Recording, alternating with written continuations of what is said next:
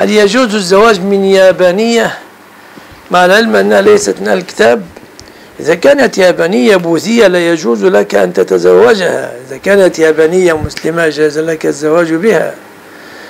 إذا كانت يابانية كتابية جاز الزواج بها.